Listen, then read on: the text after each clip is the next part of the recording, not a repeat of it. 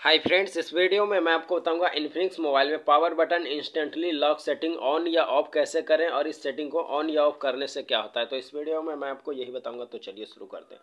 तो Infinix mobile में ये सेटिंग ऑन या ऑफ़ करने के लिए आप अपने इन्फिनिक्स मोबाइल का सेटिंग ओपन करिए और उसके बाद आप स्क्रॉल करके नीचे करिए और नीचे करिए और उसके बाद आप यहाँ सिक्योरिटी के ऑप्शन पर क्लिक करिए और उसके बाद इस तरीके से आ जाएगा। यहाँ पर स्क्रीन लॉक का ऑप्शन मिल जाता है। इसके सामने में गोल सा सेटिंग का बटन आप इस गोल सा सेटिंग बटन पर क्लिक करिए और उसके बाद इस तरीके से आ जाएगा। यहाँ पर आपको power button instantly lock setting मिल जाता है। तो ये सेटिंग अभी ऑन है। अगर जो आपको ऑफ़ करना है तो आप यहाँ पर क्लिक करके इस सेटिंग को ऑफ़ कर सकते हैं। लेकिन ऑफ़ करने से होगा क्या कि आप पावर बटन दबाएँगे तो आपका मोबाइल इंस्टेंटली लॉक नहीं होगा। जैसे मैं पावर बटन दबाया और स्क्रीन ऑन किया तो देख सकते हैं मेरा मोबाइल जो है वो लॉक नहीं हुआ। तो इस सेटिंग को अगर जो आप ऑफ़ कर देते हैं तो आपका मोबाइल में पावर बटन से मोबाइल लॉक नहीं होगा। लेकिन मैं तो चाहता हूँ कि मैं पावर बटन दबाऊँ तो मेरा मोबाइल इंस्टेंटली लॉक हो जाए। इसलिए मैं ये सेटिंग को ऑन कर लेता हूँ। ये सेटिंग मैं ऑन कर लिया और उसके बाद मैं पावर बटन को दबाऊँगा तो देख सकते हैं फ्रेंड्स मेरा मोबाइल जो है वो लॉक हो गया। तो फ्रेंड्स इस सेटिंग को ऑफ़ करने से यही होगा कि आप पावर बटन से दबाकर मोबाइल लॉक नहीं कर सकते अगर जो ये सेटिंग ऑन है तो ऑन रहने से ये होगा कि आप पावर बटन दबा करके भी मोबाइल को लॉक कर सकते हैं।